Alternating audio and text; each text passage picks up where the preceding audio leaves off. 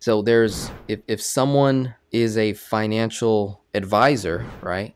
And they're sharing with you stocks, bonds, mutual funds and things like that. They typically share a number of hey, 4 to 6, 6 to 8% average rate of return. Could you potentially earn 50% in one year? Sure, but that's not guaranteed and not going to sell you on that. They're selling you on average rate of return. They talked about Warren Buffett, one of the best investors in the world. You invest in his fund, the most you probably would would earn in a year would be like 12%. So there are some initial like red flags when you get involved in certain types of investments where if there's a claim, hey, I can help you, you know, earn a rate of return of 100%, 50%, 1000%, 500% returns. Is it possible? Yes, I'm totally sure it is. What is the likelihood of that happening? How easy or simple or efficient like is that? Because because if if that were true, I think everybody would stop funding their 401ks and put it into this and earn that 100% rate of return, right? Like, if that was so true, I think everybody would dump their 401ks and start investing in this Novatech thing. So, what I've typically seen, and this is just proof with pocket watching and working with Spanish community and black community, that is primarily like my biggest audience, right?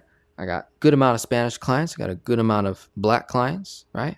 Pretty dominant. I'd say it's like almost 50 50. And then I got the middle, which is like I got white, I got Asian, everything. Like I got everything in between, all the different cultures. I probably worked with almost almost every culture at this point, right? But primarily I got black and Hispanics, like my biggest demographic. We are constantly getting scammed, guys. It's weird and it's annoying. It's frustrating. Pisses me off. I don't know if it pisses you off. Sure helps piss me off. I can't stand it. I can't stand seeing people that are already in a bad financial position, they're sending their last $500, 1000 5000 10000 to some guru, some investment opportunity, some MLM, network marketing company, and they're getting bucked, they're getting screwed, and it may not have been a scam. That's the thing, too. may not have been a scam what they were doing, but the way they went about it, as if they could just throw this money in a microwave and it's going to make dollars so fast. I'm trying to figure out how to have certain conversations with people where it's like, hey guys, is it possible to get rich fast? Yes, totally is. But if you're willing to do the work that no one's willing to do, if you're willing to improve your mindset, build slowly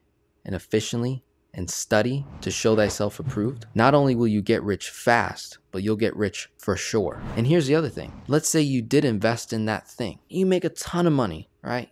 Make all this money. What's the likelihood of you being a good steward over that windfall of cash? If you've never been around that kind of money before, what's the likelihood of you actually being a very good steward over that money? How many situations have we seen of NBA players, NFL players, baseball players, you name it. Professional athletes and people that win the lottery. They make a ton of money and they go bankrupt when they retire from that professional sport. Average over 50 plus percent go bankrupt within the first five years. The average lottery winner goes bankrupt within a few years. Get it gets $100 million, $50 million in one shot. Changes your life for the good or for the bad. What's the likelihood you will actually be a good steward of that money? So if you're willing to do the work that no one's willing to do, if you're willing to think which is the hardest work that most people never do, is think and run the numbers, calculate the cost.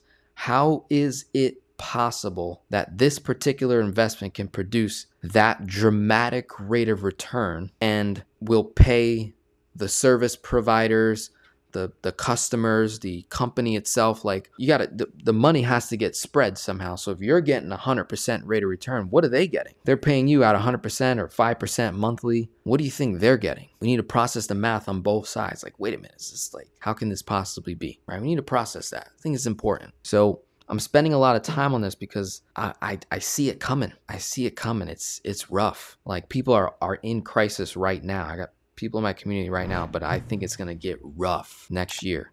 They keep increasing rates the way they're doing, and these real estate prices, the way they're like staying up, yet there's not enough buyers in the market. It's getting weird.